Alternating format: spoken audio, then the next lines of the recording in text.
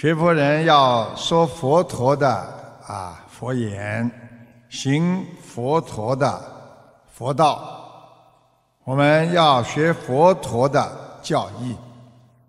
佛陀留下很多的无价之宝，告诉我们修行之重啊，必先克其劣行。所以我们每个人学佛。首先要克制自己啊劣根性和在五欲六尘当中所染着的东西，所以要常存悔心，经常心中要有悔意。哎呀，我过去啊做了很多错事啊！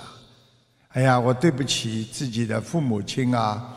过去曾经帮助过我的同学啦、师长啦，多存善心啊，多存善心，还有善念。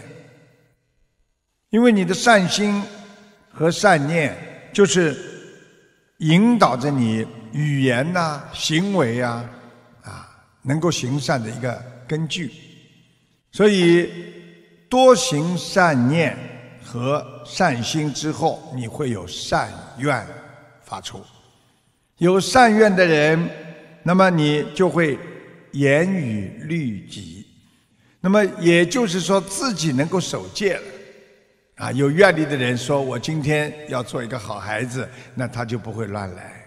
我今天要做一个善良的人，那就不会去嫉妒别人呐，啊，去贪嗔痴慢疑。”心智，你的心里的智慧才能明亮，啊，心智才明，虔诚乃畅，就非常的啊顺畅。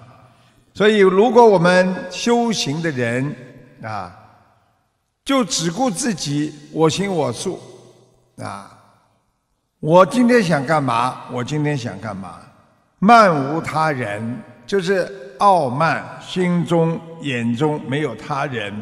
功高我慢，那么你就不能明法正生，也就是说，你心中不能知道什么是正的能量、正的法，你也不能用自己正确的身体行为，所以你这一辈子可能就会断送你的慧命。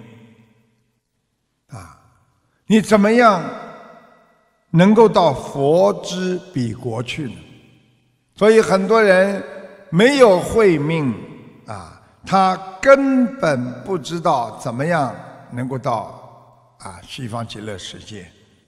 因为当我们要修心的时候，会有诸多的魔障，所以必定要坚其道心啊。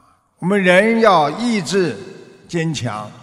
学会勇于啊承受，啊，能够啊担重任于身，就是要救度众生，啊，要弘法，要立身。